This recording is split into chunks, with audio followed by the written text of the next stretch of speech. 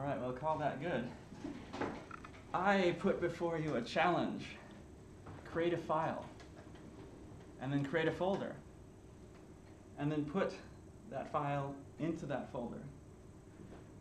Let's say that you've been working on a file, and you've been saving changes to that file, and then when you're done working on that file for the time being, you save your final changes to that file. And then when you come back and work again, you open that file, and then you save that file as with a new version name. And then when you're done working on that file, you save it again, and you close the program and you go home. What I'm pointing out here is what the typical user of a computer does on a regular basis all around the world, hundreds of millions of people. But we, who know more about computers, we use content versioning systems for our coding, do we not? We use the original CVS, we use Subversion, we use Mercurial. These are great programs to manage repositories of source code, sure. But what do people do when they're just writing a document, when they're just tracking the hours that they worked? That's the question that I'm asking. A rhetorical question, to be sure, since this is a lecture and not a what do they call that? Um, birds of a feather talk. But think about it.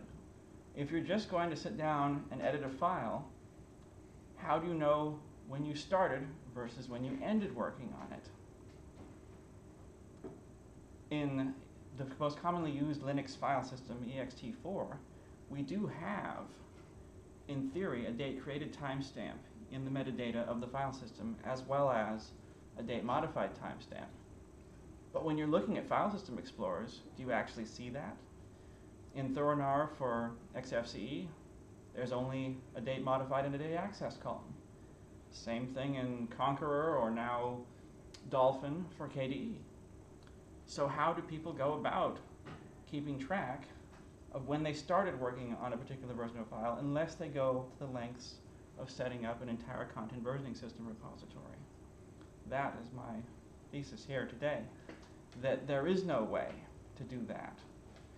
And there are a few operating systems and with a few file systems that allow you to do this, but I have not found a single way to do it in Linux using an open source Libre file system. Even today, I am stuck using NTFS with Linux because it's the only file system available to me that is operable with Linux at a good speed as both read and write. It has those drivers bundled with every distribution of Linux that I encounter. I could almost use HFS Plus, except that that distribution, that is to say, that file system coming with any given distribution is not going to have write capability in the drivers. I'm stuck using a proprietary file system simply because of the date created timestamp in ext4 not being accessible. And so I've been studying this for years, trying to find a solution. Recently, someone in one of the uh, Internet Relay chat groups for one of the projects out there, I think it may have been Linux Mint itself, happened to have been reading a manual file regarding a particular command line command known as find. And I thought, Eureka, here we have found it. But no, take a look at this.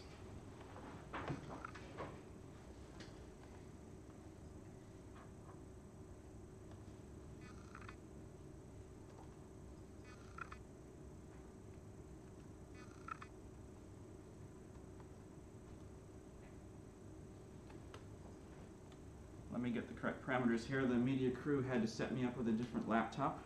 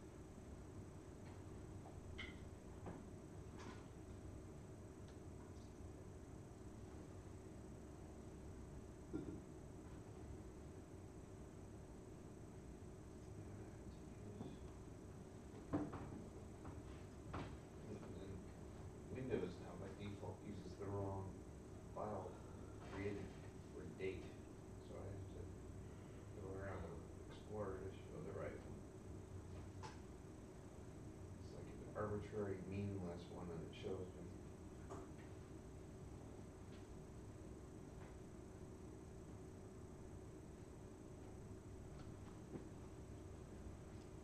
Yeah, let's actually look at the manual file for find.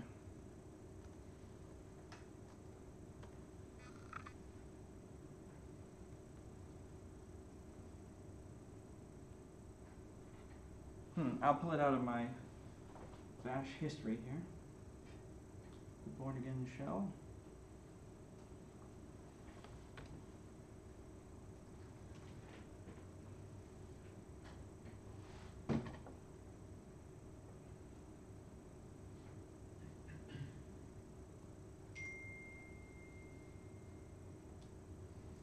Here we go.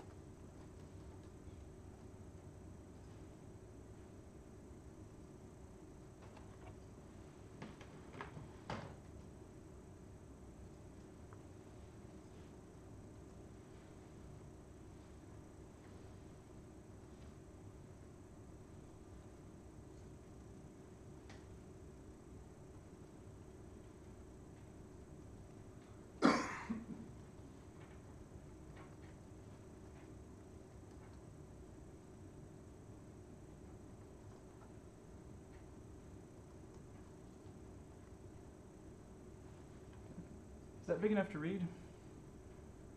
I can make it bigger if need be. Let's see. Bigger be good. Yep.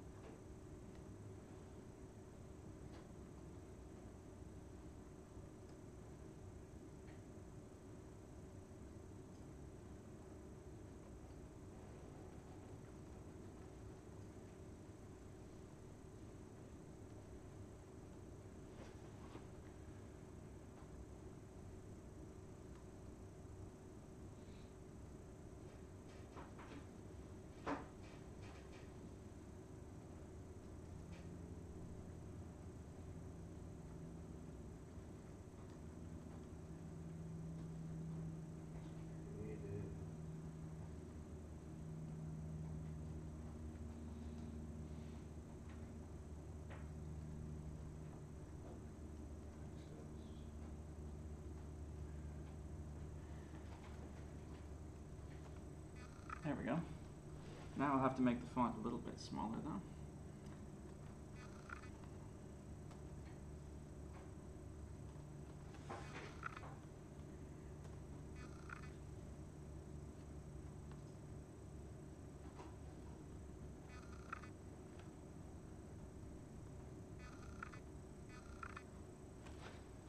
All right, there it is.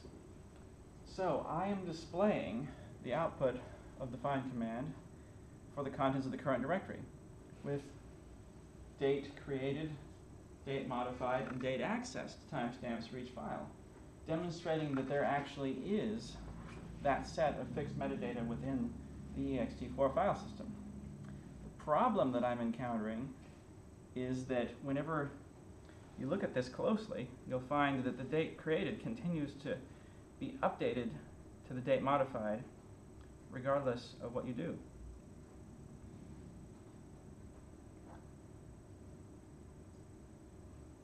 So here's a file that was probably created earlier than when it was modified, as physics tends to require, but here the date created is set after the date modified.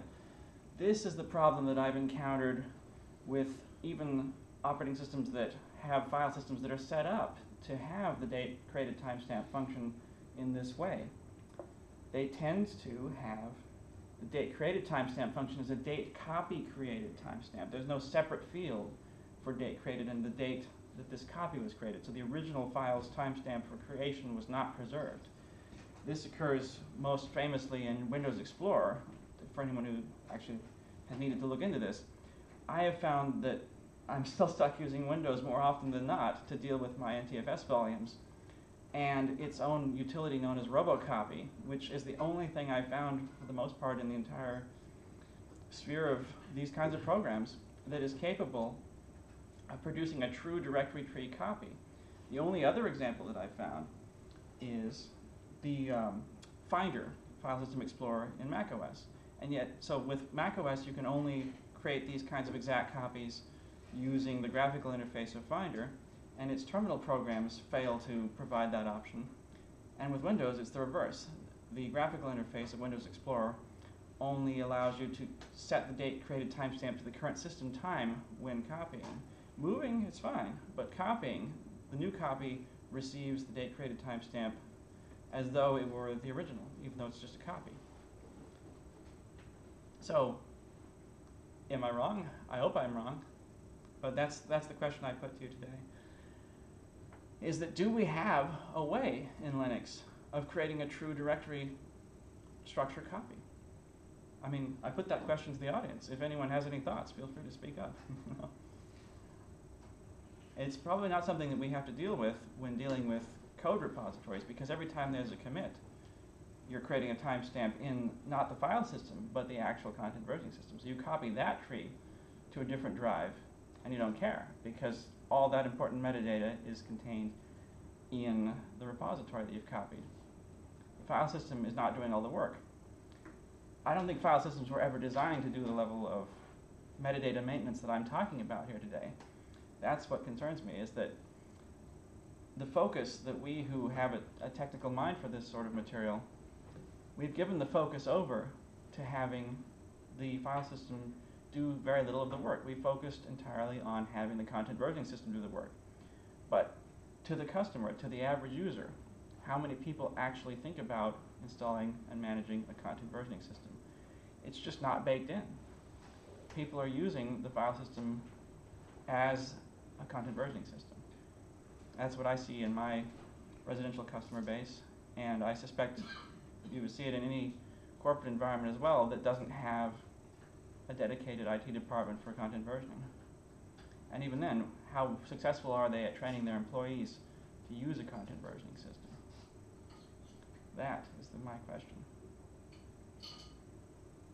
I guess, thank you for listening. That's, that's pretty much the presentation. I could go into a lot more detail about different things, but I want to hear questions, definitely. I, I'm, I'm still a little clear on, un- unclear on what date you want. Date, or do I mean, like the copy with the minus A, or there's a lot of options, will, will preserve, will preserve the date time copies when you do a copy command. Of course, when you do a modification, well, you'll get a new modification date. Sure.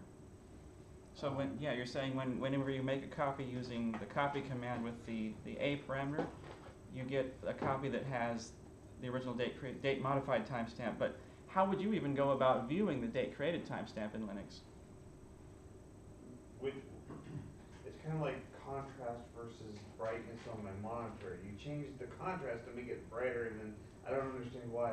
But on this one, when when you change the file, is it the same file as it was before?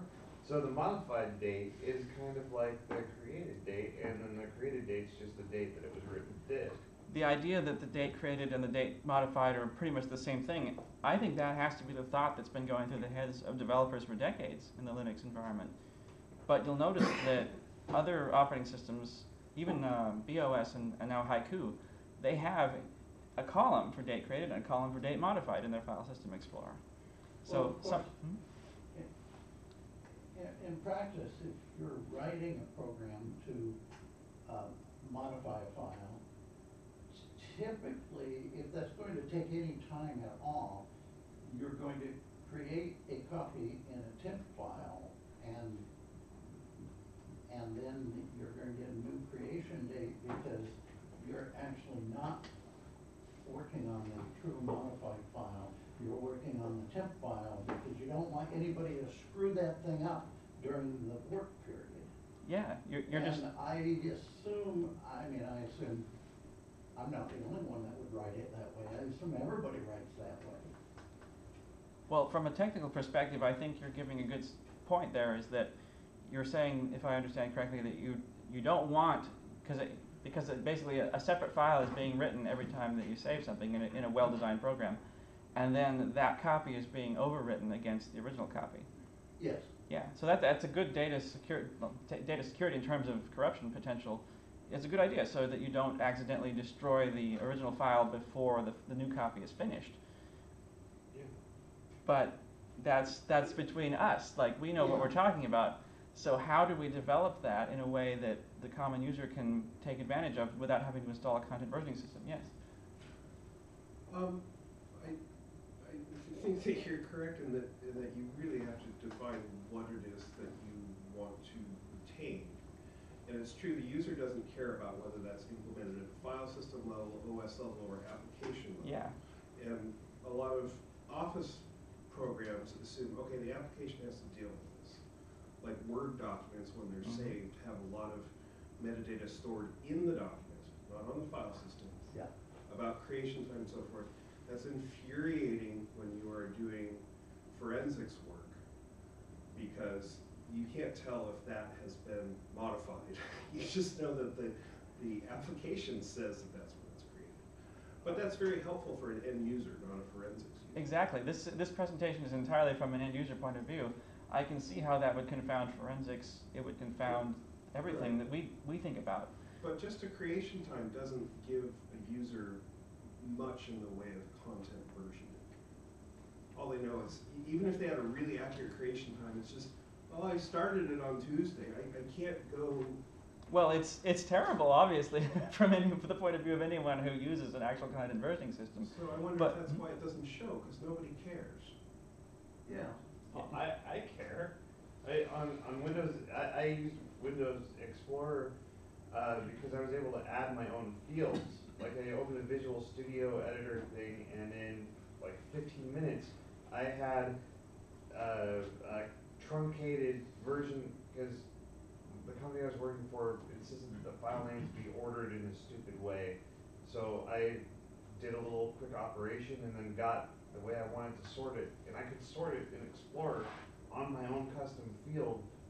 Uh, it only took me like a half hour to do, and I'm adding fifteen minutes every time I say it, but, uh, yeah, it, it was quick and easy, and then I can have date created, date modified, date access, this, this stuff, because we were creating a lot of files, and if I saw a glitch between time, file created times, I knew somebody had stopped, or the machine had jammed or something.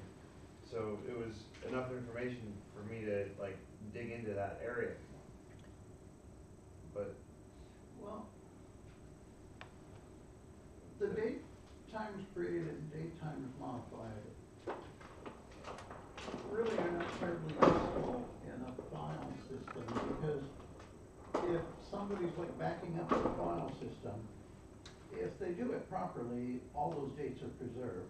But leaving out one A flag or whatnot, everything's screwed up. Well, I, I wouldn't call them state robust, they're not robust. And what graphical user interface do we have that handles the A flag that you're talking about? Yeah, like if you were, that's the problem. I, I, this is like the inverse of preaching to the choir because because we don't need to use the graphical interface. so how do? But but how about the average person out there? Yes. So you, you just, you just want an option in, in Dolphin or, or whatever Yeah. to please show the create date. Yes. And that sounds totally reasonable, although I'd be scared of it because it's a lie. Yeah, Well, I, yeah, it's a really good point. It, but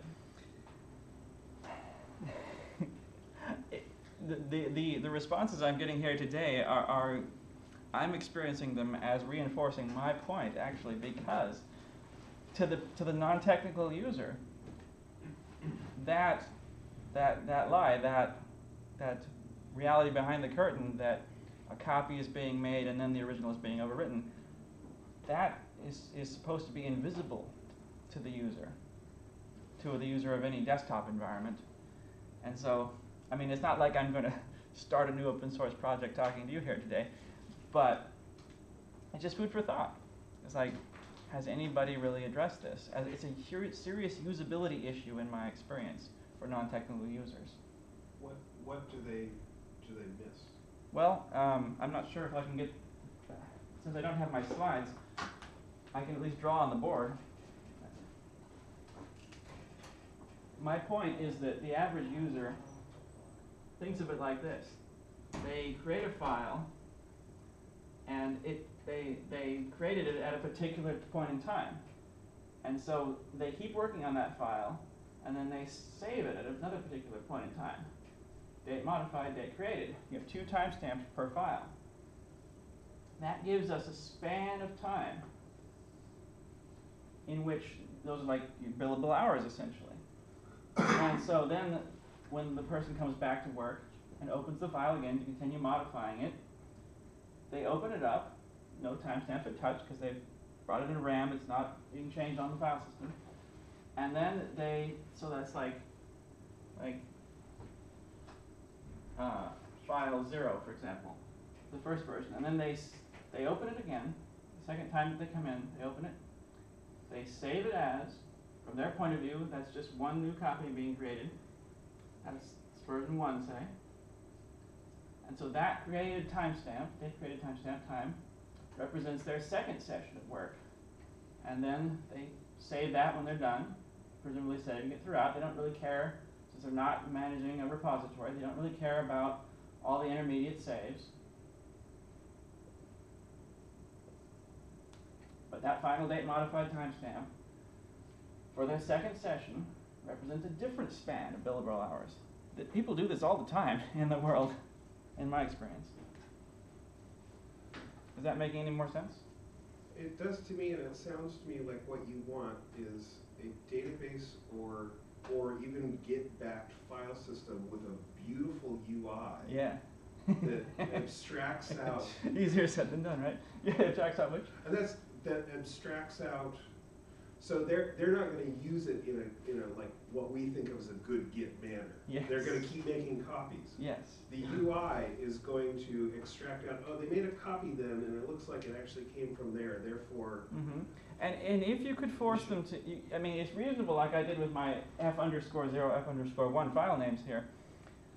It's not unheard of for people to actually use a naming convention. they do Yeah. make mistakes quite frequently, and humans are, humans are inconsistent creatures. But people do tend to use naming conventions, like having even a date in the file name. Like I know people who deal with putting the file, putting the date created in every single file name in their entire file system, which, I do that. yeah, Yeah, I, I Yeah, do that a uh, lot. and that kills the concept of being able to sort by name. No? No, No. not if you do it right, absolutely Not, not. not, not if you know the find command. Well, I just used that, but who knows that other than people like us in this room? you, you append it. Year, month, day. There you go. yeah, but what if? It what if- sorts really nice. like they're the names separate from the. So let's say I. this is so totally the inverse of preaching to the choir. Um, let's say I put, you know, year, month, day, even hour, minute, second. Probably don't need nanoseconds into the file name. I've lost the ability to sort by name unless I design some script to ignore the first several tokens of the file name and then No, sort. you do it the other way around, Yeah. you still wanna sort by name. But though, mmm, interesting. I'm, I'm on with your Git backed file system with a beautiful UI, start the project, and I'll Yeah. contribute. Well, thank That's you. a great idea. See, that's part of why I came all the way here from New Hampshire was to, to inspire myself to get this thing started by at least giving this public talk about it. I gave a similar talk two years ago to a non-technical audience, and they had no idea what I was talking about. So that's because even from their point of view, they didn't care about the date modified. I mean, the date created timestamps because they just they weren't even they weren't even doing the billable hours kind of thing. But yeah, no, I, I love your suggestion about putting the timestamp after the file name in the file name in order to continue to sort by name. But that wrecks the UI because you have variable lengths of file names. So the, they're no longer aligned into a column. That, that's why I wrote the thing in my Windows Explorer. I love that. tailed- I gotta get your code. It, it tailed the last whatever characters and then made it be its own column. That's brilliant. I'd love to see that. But it's still, um, like, also, you, you've had to physically type, unless you had like a, unless you set up some utility to say like control semicolon, I used to do that, to insert the date, the timestamp into any text The field. scanning program it automatically had a time field. It- so when we were Right. document scanning, every time it scanned it. And this is something else that would have been in my slides, which is that there are various file formats and programs that deal with these kinds of timestamps, like um, EXIF tags for JPEG files from cameras or even RAW files. I guess those have them anyway.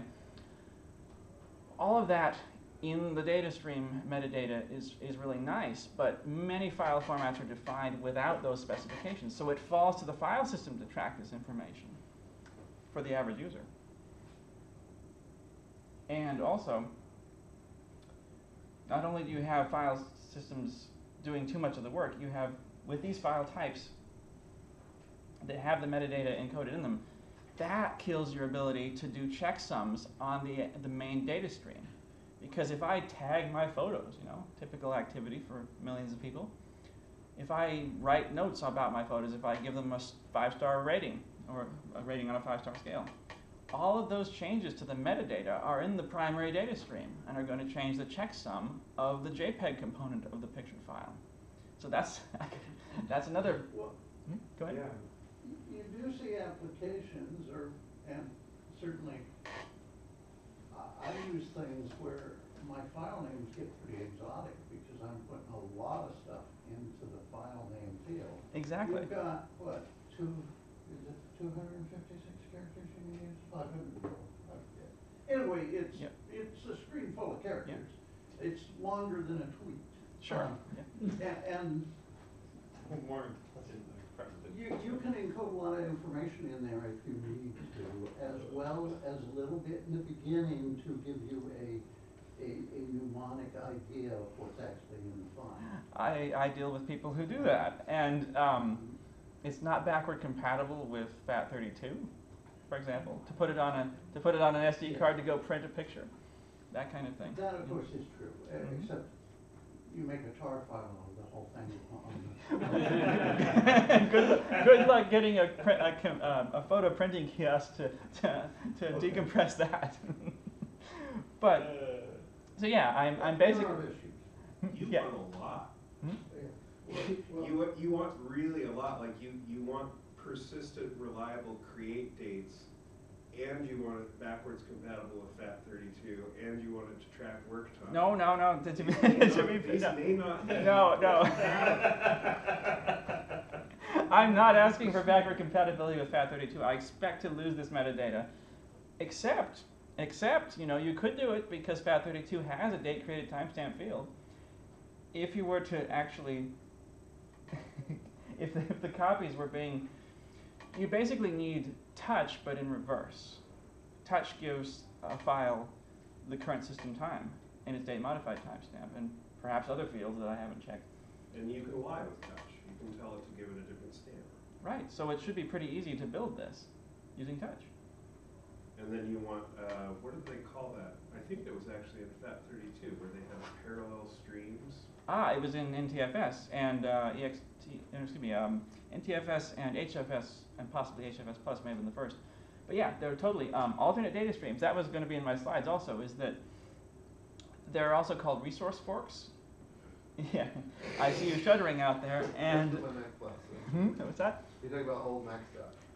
It's still current in their minds, but it's also available in NTFS. Um, yeah, it's it's scary, but you know, given that's what's out there on millions of computers, I've often thought about developing this concept in a way where I could take advantage of resource forks to store this kind of metadata. But that would be kind of like that. That would be getting kind of ridiculously demanding and complicated to try and create to try and create a program that's backward compatible with NTFS and um, HFS Plus simply because it's using these proprietary file systems' ability to have alternate data streams. Yes. I've got it. Let's use the Windows thumbnail file that's hidden, and let's just embed it all that, and then with every file, we just ship one of those with it. Thumbs.db. Yeah, Yeah. sidecar files. That's also in my slide. Is that's one of the approaches, but that to me is what's happening. Yeah.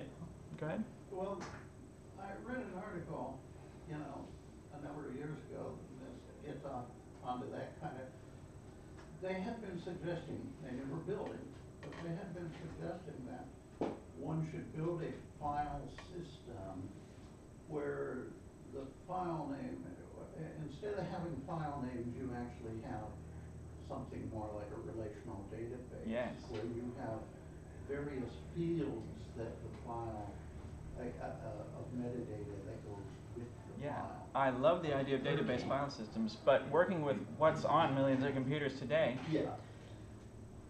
It seems to me we're going to have to come up with some kind of way of integrating touch into a graphical file system explorer for Linux in order to take that new copy of the file. I know this kind of wrecks the forensics of it, but but for I mean anyone who has this level of control over the computer can still be altering the forensics, I should think. Yeah, forensics is doomed. Yeah. It's a hopeless. Yeah.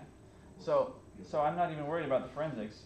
It's actually the data loss that's taking place from, from the non-technical user's point of view. Every time that date created timestamp is destroyed. It's like, it would be like saying, well, I stopped working at this time, but when did I start working? If I don't know, I don't know how long I worked. That's, that's my point. So what, Go what about audit kind of data? I mean, the kernel has information about this thing opened the file and it closed the file and it wrote the file. Okay. What if there was a separate process that was hooked in and seeing all those reads and writes, and your database is actually separate from the file system? That, that now knows all about all the edits to the files.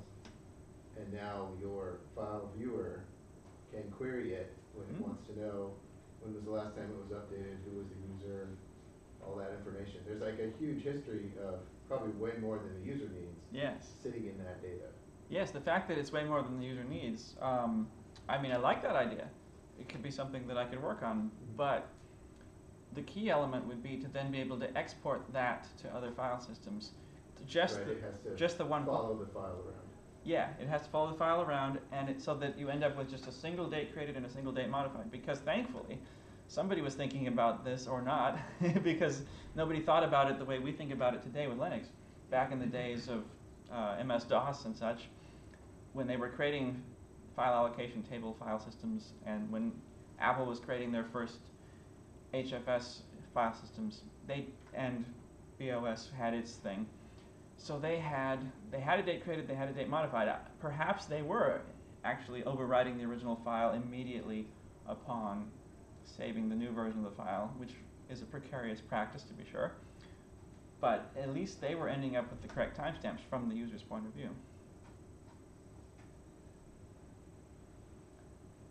So yeah. I- I think you're right about touch. That might be the way to go. It'll be an interesting future. well, if there aren't any other thoughts, I might let you go at this point, although um, obviously you can free stay in this room. But uh, that's generally what I had to say. Is that we just aren't thinking about it. I mean, I can, I can continue my rant if anyone's interested, but You know, I'm thinking about it, I was just looking at the Plan nine OS design docs to see if they had encountered this and addressed this issue. It doesn't, doesn't appear to me as if they have. yeah. Go ahead. So I've, I've definitely encountered this, and I always used to think of it as a training issue. And so you have brought to me that maybe it is a design issue. Yeah. that Well. We, we need to react to how people want to use it. Yes. Instead of telling them, well, this is how it is. Exactly. But it's, it, it makes it a hard question, I think, or a hard problem. Yeah. Well, I've I've Real encountered. creation time is hard to Mm. accurately. Initial creation, instance creation, they all start with I. So, so is it just one more time column that's, like, we have the current creation time? well, As soon as you copy, that's the creation time of the copy. If it brought along with it another timestamp was, which was the original creation time. Is that it? Like, is the problem, is your problem solved? Well, from, I, I, I think I like where you're going with that, but for the non-technical user, what they want, in every case that I've encountered where But they. they're wrong. In every, They're Yeah. asking me for stuff that you don't have any, that you, it's, from their point of view, they only want the date created timestamp to change when they save as. That's when they stamped it in their mind. When they say what? When they say, go to, say the file menu, save as, they give it a name, they save it. It's a new file that they're creating. It's- Yeah. It's a new creation. That's the only time that the date created timestamp should change from their point of view. that's, that- that's gotta stay within the, the file, that's, that's gotta be, uh, like a field embedded in the Word file. It's, I mean, it's gotta be there, it could be elsewhere, but Well, very few file formats take that into account. Let's say you were just making a plain text file with, with some text in it, and you wanted to be able to create a copy of that file on a flash drive to take it somewhere. plain text file, the very beginning, it's like, say, seven date string, beginning of the text. file. Th- Think of all the human effort that consumes, with millions of people doing that dozens of times a day. Uh, a lot of people have problems kind of like this, and, and sometimes, sometimes it, it does take a lot of effort. I, I can remember working on some mapping projects where, you know, they wanted the date and, date times created, not a file, of the Mylar original or of the aerial photo from which the Yes, stuff comes from. yes. And so, you know, that resulted in needing for each file name, we had to have a, quite a, uh, complex, um, um, SQL database to keep all the meta information. And there's no way around that, I mean, that's, that was legal requirement, Yeah. basically. Yeah, And that's what lawyers are doing these days, is when we run discovery on their set, they end up with a pile of what they call natives, which is the Yeah. original files. And then extracted text, and then generated images, and then